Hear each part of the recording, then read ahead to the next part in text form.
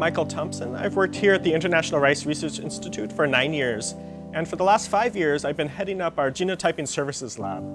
So what we do, we have uh, both research and service activities. We have upstream research activities um, in molecular marker development, and then uh, application for the rice breeding programs. We tried to identify uh, markers that are linked uh, with stress tolerance, uh, disease resistance, and grain quality, and then we use that to help the breeders uh, integrate these traits into their rice varieties.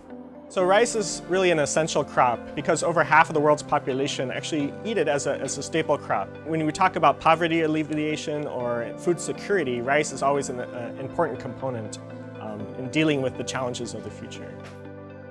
So a major problem actually um, in many areas of Asia and Africa is, is flooding. And so flash floods often will, will come and completely submerge rice fields for over two weeks. And in those cases, actually the farmers will lose their entire crop. And so IRRI has worked with partners at the University of California at Davis and Riverside to identify uh, a gene that, that provides uh, tolerance to complete submergence in rice.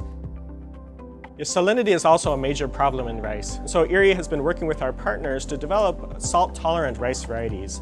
So the farmers can grow these varieties in these areas that have high levels of, of salinity in the water, and the rice will then uh, survive those levels and, and produce a good crop. So what we do, we take eight different rice varieties, we intercross them, and we identify what are the genes that are controlling uh, yield and stress tolerance. But at the same time, we produce uh, unique uh, combinations of genes in that material that the breeders can use uh, to develop the next generation of rice varieties.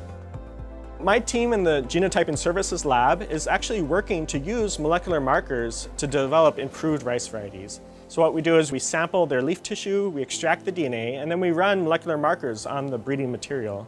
And the breeders can then use that uh, to make selection decisions in their programs.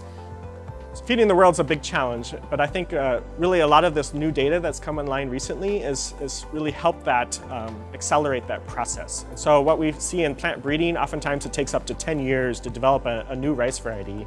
And with some of the new data and some of the new marker technologies, we've reduced that time.